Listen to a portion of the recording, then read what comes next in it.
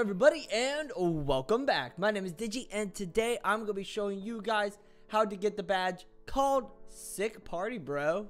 So to get this badge, head over to Caricatures and Map Portal. Boom. Once you've done that, we're actually going to go to the side here. I just realized it can run. And you're going to go behind this igloo or snow wall. You're going to see this rainbow cube step on it, or actually wait, yeah, you guys sort of wiggle your way onto it, and now you're in this sick party, bro. What you're gonna do is touch the YOLO Sans right here, step in front of them, and there we go. Look at this, sick beats, bro. Yo, yo, yo, leave a like and subscribe. If you don't do that, I'll buy a pizza pie.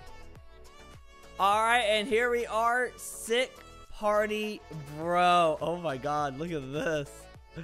Alright, so we got... Oh, wow, that is a boombox. And, of course, he's got a slash. Very cool. Blasters. YOLO blasters, bro. Bones. Do they change? Oh, they do. And then a bat. Very cool. Lay. Sit. Question mark? Oh. Oh. oh. And here. Dude, that is sick. Anyways, though, everyone, that is all for today. Thank you so much for watching. If you enjoyed, leave a like, subscribe down below, join the Badge Hunting Squad today. Use star code DIGI whenever you buy Robux or Premium. And check out my Roblox group, my Twitter, and my Discord.